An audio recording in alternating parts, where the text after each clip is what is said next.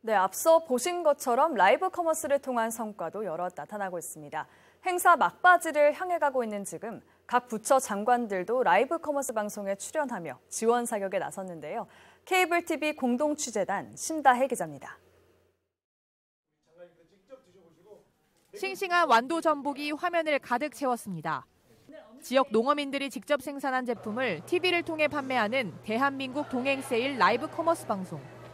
소비자의 관심을 끌기 위해 과학기술정보통신부 장관도 일일 쇼호스트가 됐습니다.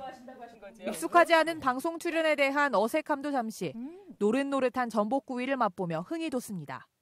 쫄깃쫄깃. 네, 전복이 정말 쫄깃하고 신선하고 식감이 정말 좋습니다. 대한민국 동행 세일은 코로나19 경제 위기를 극복하고 내수를 촉진하기 위한 대규모 할인 행사입니다. 백화점과 전통시장 등 오프라인뿐 아니라 온라인에서도 소비자들은 소상공인의 우수 제품을 최대 80% 할인된 가격으로 구매할 수 있습니다. 케이블 TV 지역 채널은 다양한 지역 특산품을 하루 3시간 3회에 걸쳐 실시간 판매하고 있습니다. 앞서 과기정통부는 케이블 TV가 지역 채널에서 상품 소개 방송을 할 수 있도록 규제를 완화했습니다.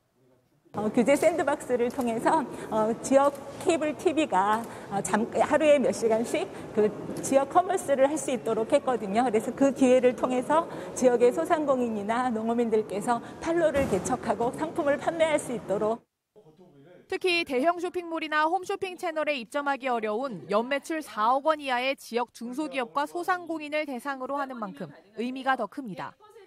수익이 목적이 아니고 지역 소상공인을 살리고 골목 상권을 살리기 위한 그런 역할을 어, 해나가고 있는데요. 지역 소상공인과 아, 지역 시민들을 연결하는 지역민들을 연결하는 우리 동네 당근마켓이 될 수 있도록 열심히 노력하겠습니다.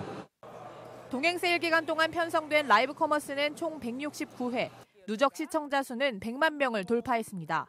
소상공인의 우수한 제품을 저렴한 가격으로 살 수 있는 대한민국 동행 세일은 오는 11일까지 진행됩니다.